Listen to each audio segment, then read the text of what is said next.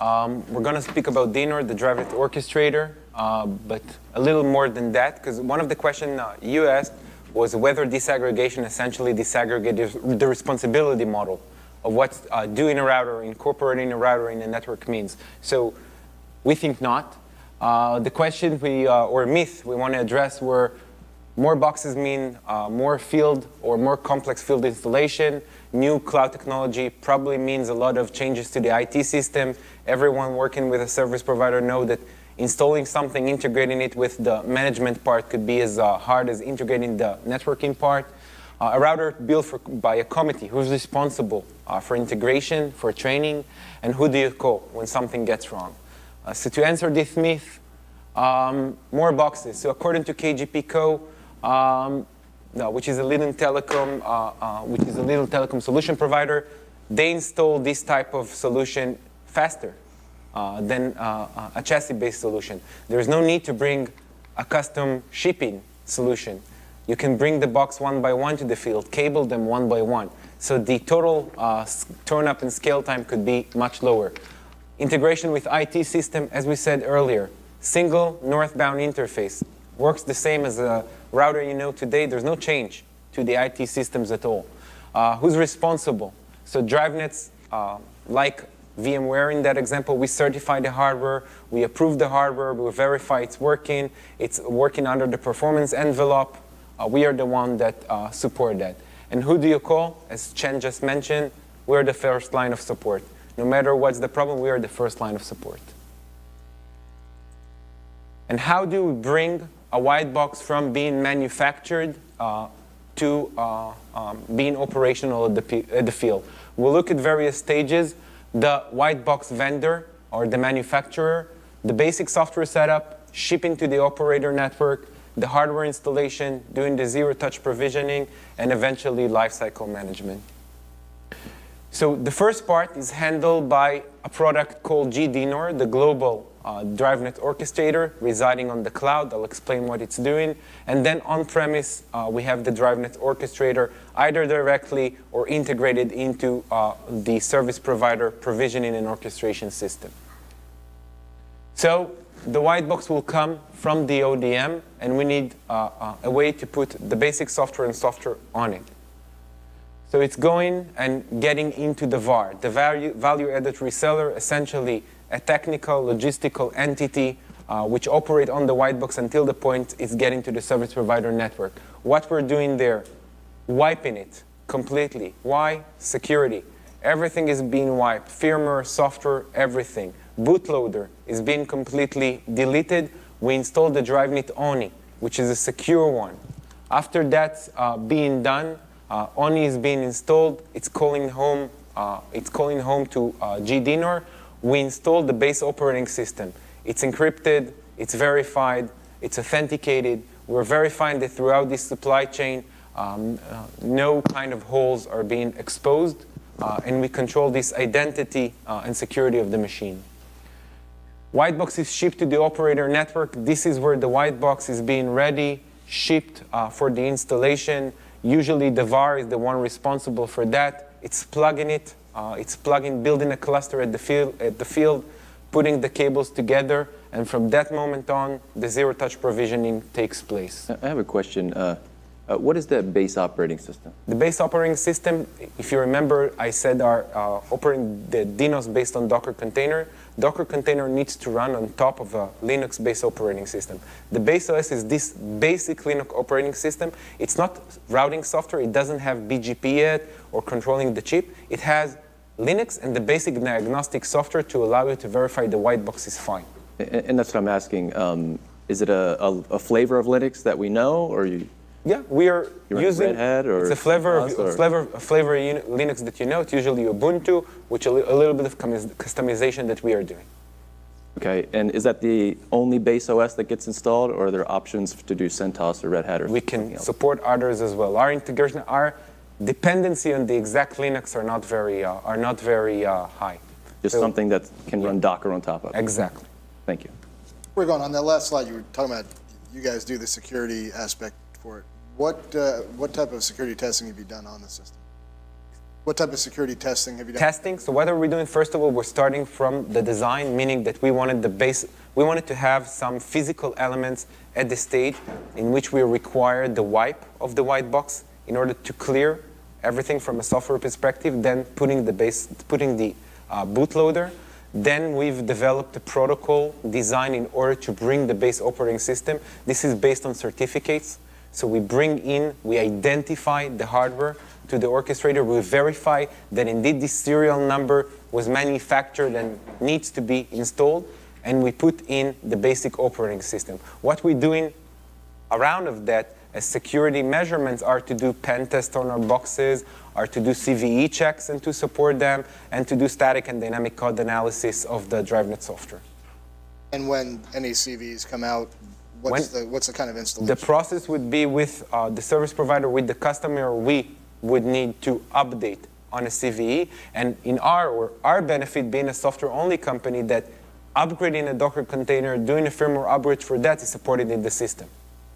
So you're then facilitating, We are the one facilitating for that.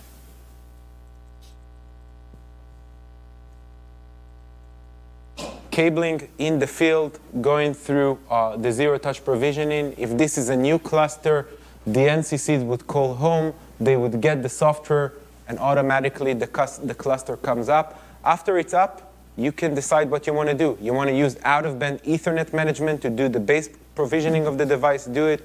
You want to use a console cable, use a console cable, whatever you want. Once the cluster is up, in-band management, and everything you know. You can do netconf, you can do CLI, you can download the file and do uh, load config, however you want to operate uh, the router. If it's an existing cluster, you want to add an additional NCP, you just plug it in. This DriveNet software automatically provision it, download the software, install the software, and it's just like adding a line card to a chassis. Where does the software come from again? Does it come from the controllers or does it come It's from? coming from the orchestrator, DNOR, which installs that. DNOR is usually run either as a, a standalone within the service provider network or embedded into their orchestration mechanism. A lot of service providers already have uh, an orchestration solution. And uh, it was a question earlier, the DNOR interfaces are completely modeled in open API. So someone could automate them and work with them uh, directly. The zero-touch provisioning, uh, you see uh, example from DNOR here. All the NCCs are calling home, being deployed. We support in-field, uh, um, we support in-field deployment, upgrade. We support we support firmware upgrade. If you need to upgrade the BIOS on a server, we support that. If you need to uh, firmware upgrade one of the uh, SD, one of the cheap SDKs, you want to do firmware upgrade on one of the uh, internal switches on the white boxes. All of this is supported using the DriveNet software. And the call homes to the cluster controller that they own and not to you guys or? Yes, the, it's, it's within the service provider network. Okay. Exactly. Once we're in the field, it's the service provider premises. We do not take anything out of the internet. Lifecycle management. So, giving the customer a single pane of glass, a global network view, how many clusters I'm running, what is the total bandwidth, what are my hotspots, what are my uh, most, uh, most uh, uh, intriguing alarms I want to take care of. As Chen said uh, before, looking forward, uh, the, where, the, think, the way we think this will go would be to uh, proactive uh, maintenance, meaning doing correlation algorithms on the data coming, doing artificial intelligence on the data coming, and to auto, auto alert and auto fix some of the problems. Another thing we do as part of lifecycle management is uh, uh, resource management. How, what is the resource utilization on each and every element? How much memory I'm consuming? How much cheap resource I'm consuming? Live KPIs uh, that I monitor. You can see everything here. By the way, I haven't mentioned it before. This is not any proprietary protocol. This is GNMI coming from the router going to DNOR. So if you want to subscribe directly on the router, onto the router uh, GNMI and open a session, you will get the same exact information. This is only uh, the, this is only a data model written in Yang being exploited outside in uh, GNMI. You can do it directly. Uh, we do it in a beautiful UI, UI here. Hardware management. Visually see the white boxes, what's happening on them, where they're cabled, what is the status of the ports.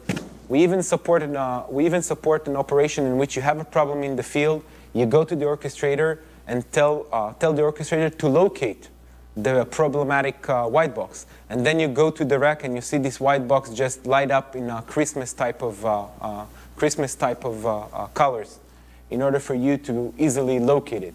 All the cluster internal connectivity, the backplane is being exposed here um, so you could easily debug a problem at the field.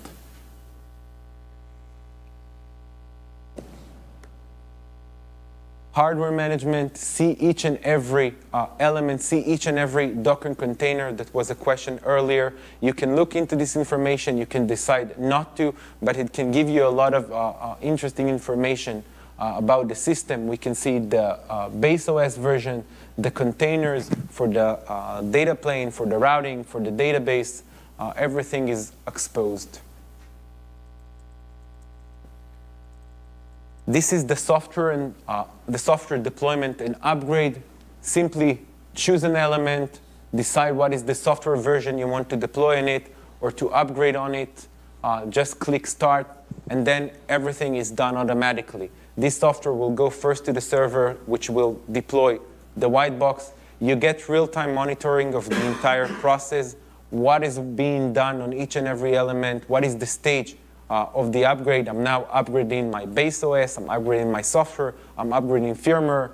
Everything is completely uh, seen in real time. Um, are the, uh, uh since this is all sort of container based, are, uh, do you have all the routing protocols in one container or have you broken them out into separate containers? Mm -hmm. So if BGP comes out with a new feature, do we just deploy the BGP container out to mm -hmm. uh, out to those edge devices? Excellent question. We started with a single container and breaking them uh, to separate containers exactly because what you're mentioning. Again, design criteria, being able to fix a bug in BGP or an IS-IS at the container level.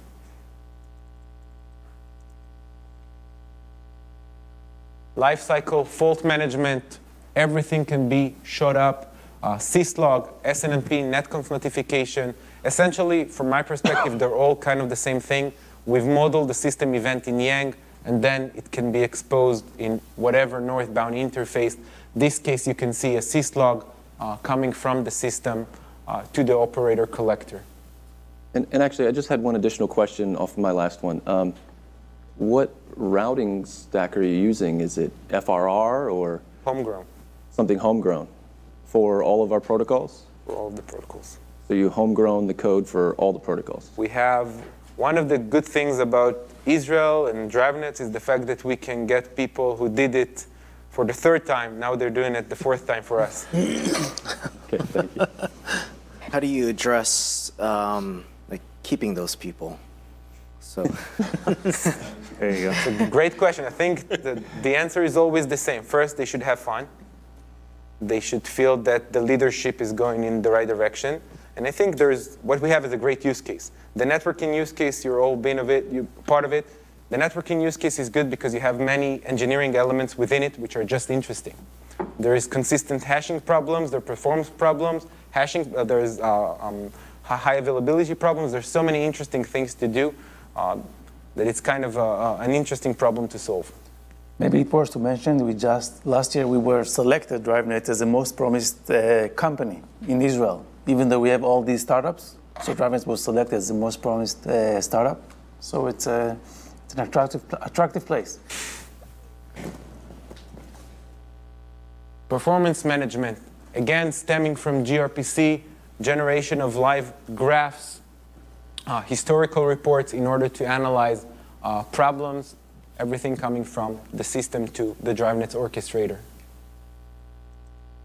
Orchestration essentially made simple. Simple. What we want to do is from soup to nuts, uh, to be a system company alongside the software uh, and to enable uh, uh, and to be enabler for the white box integration in the service provider network from the installation part to the integration part and eventually the operation of the white boxes in the network.